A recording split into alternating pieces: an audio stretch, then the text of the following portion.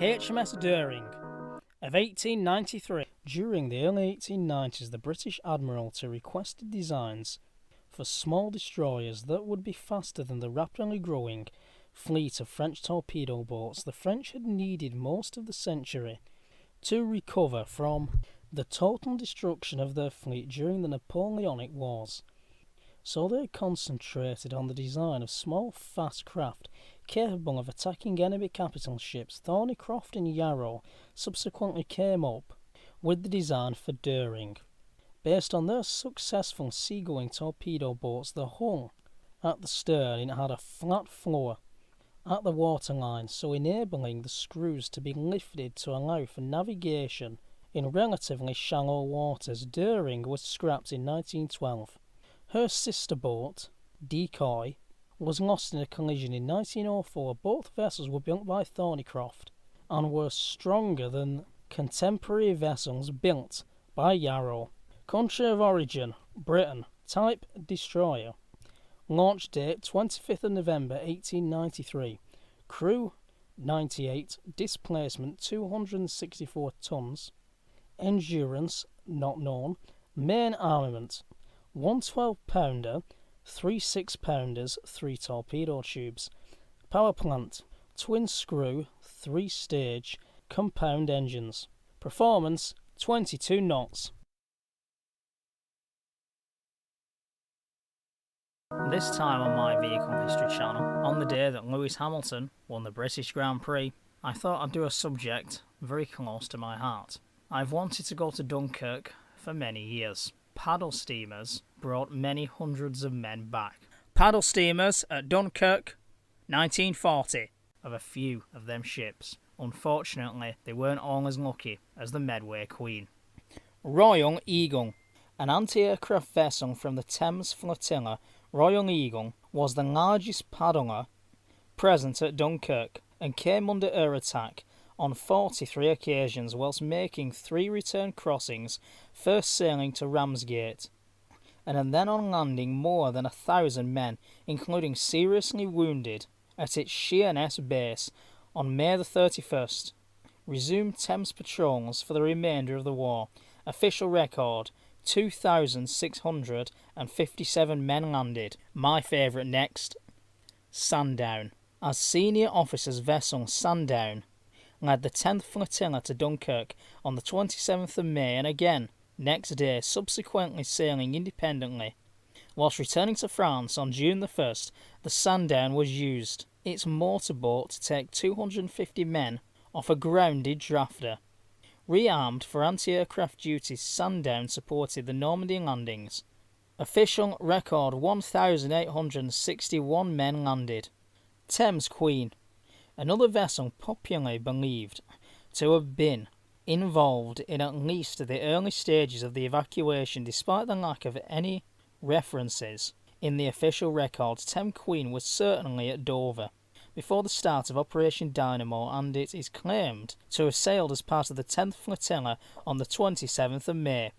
Next, one of my all time favourite paddle steamers, the Waverley.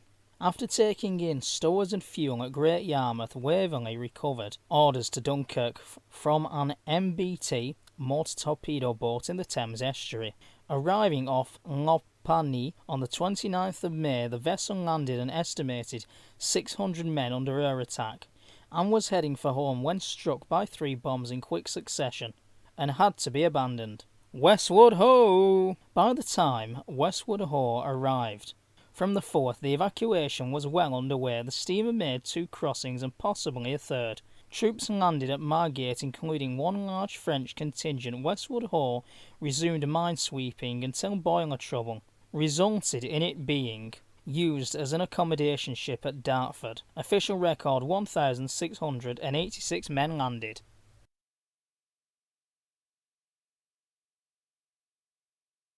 Her Majesty's Australian ship Adelaide. HMAS Adelaide and her sisters, Canberra, Sydney, Darwin, Melbourne, and Newcastle, are the Royal Australian Navy's versions of the Oliver Hazard Perry class of guided missile frigates. All six ships have been modernised and are equipped to carry the Sikorsky Seahawk ASW helicopter. The weapons system is being upgraded with various options being considered. These include the installation of a short range missile system, probably Sea Sparrow, as well as fitting her with enhanced electronic, mine avoidance, and, and torpedo countermeasures. HMAS in Adelaide, Darwin, and Canberra are at Fleet Base West, with the remainder in at, at Fleet Base East for operational tasks. The vessels are fitted with enhanced communications and other equipment such as electro-optical sights. All the ships can operate in a fighter direction role. Country of origin, Australia. Type, guided missile frigate. Launch date, the 21st of June 1972 crew 184, displacement 4,165 tons, dimensions 453 feet times 45 feet times 24 feet 6 inches, endurance 4,200 nautical miles, main armament one 76mm 3 inch gun, Harpoon, SAM systems, and standard SAMs. Also 12.75 inch torpedo tubes. Power plant is a single shaft, two gas turbines, and performance is very quick at 29 knots. And next weekend, we are back onto tanks. Gunboat Victoria. During the 1880s, Britain's Australian colony began to build up a sizable navy for local defence as Australia had no suitable construction facilities. The new editions were built in Britain. Victoria was a steel-hulled vessel armed with a single 254mm or 10-inch gun mounted forward behind a raised bulwark. The entire vessel had to be turned in order to train the gun on its target.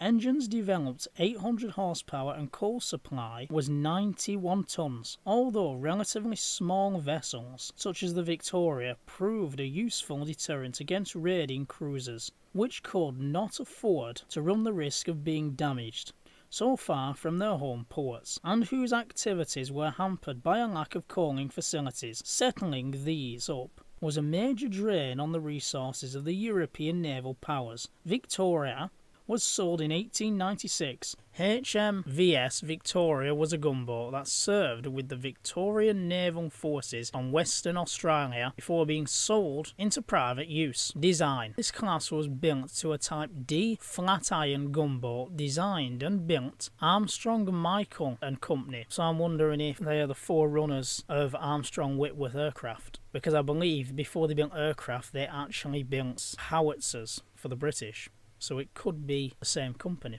Operational history. In late February 1884, Victoria was in Malta on her delivery voyage to Australia with the gunboat Albert and a torpedo boat when the news of General Charles Gordon's death at Khartoum reached the British Empire. The three ships were immediately offered for service in the Sudan campaign. That was definitely the campaign where they don't like it up them. The offer was accepted, was abs- was accepted, accepted, or help, and under the smaller less seaworthy torpedo boat was sent ahead by the time the two larger gunboats reached their destination on the 19th of March. The conflict had moved too far inland for warships to be of any assistance. The vessels all departed three days later to continue their voyage to the colony. They arrived in Melbourne on the 26th of June after travelling via Aden, Colombo, and the Dutch East Indies. Due to the depression of the 1890s, Victoria was decommissioned in 1893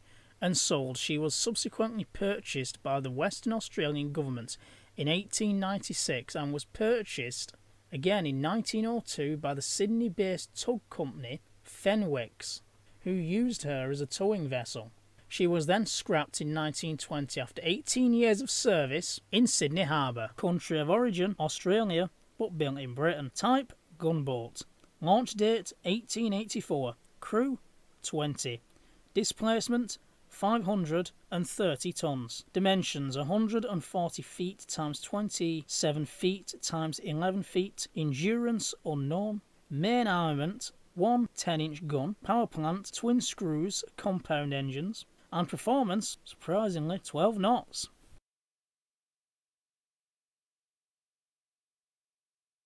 So for the 300 subscriber special and the start of a brand new series, Arun Class Lifeboat. I've had a fascination with lifeboats since I was age 4 and would love to go on the 7 class lifeboat.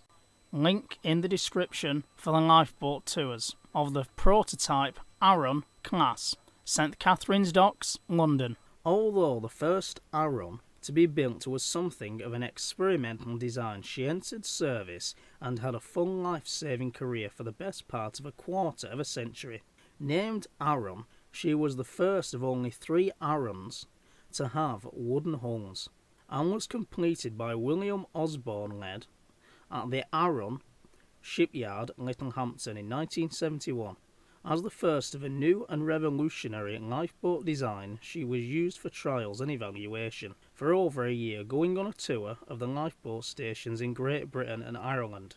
In May 1971, she was taken by a delegation from the RNLI to Malmo, Sweden.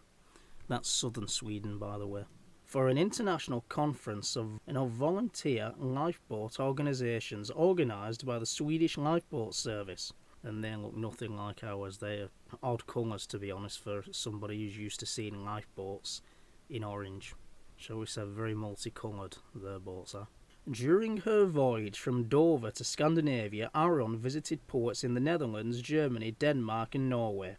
Arun spent much of 1971 touring lifeboat stations around the British Isles, including a visit to London in June 1971 when she was moored near Lambeth Bridge. During this tour, she was in Scrabster for the naming of the new Thurso 48 foot 6 inch Solent lifeboat, the Three Sisters, on August the 11th, Having been installed as a station lifeboat at Kirkwall in total on passage evaluation trials, she undertook 10 launches, 5 in 1971 and 5 in 1972, and saved two lives. Arun was formally named at the ceremony on the 23rd of September 1972 at Littlehampton, where she had been built by Mrs. Randolph Forrent having been formally handed over to the RNLI by Mr. K.J.B. Webb,